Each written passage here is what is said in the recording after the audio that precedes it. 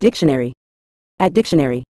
Ulcerous, in a general sense, refers to something that is affected by, pertaining to, or resembling an ulcer. This term is used to describe tissues, conditions, or areas of the body that have developed ulcers, which are open sores or lesions typically marked by tissue disintegration and inflammation. An ulcerous condition indicates the presence of such sores that can cause pain, discharge, and potential infection. It conveys a state of unhealthy, deteriorating tissue that requires medical attention for proper diagnosis and treatment.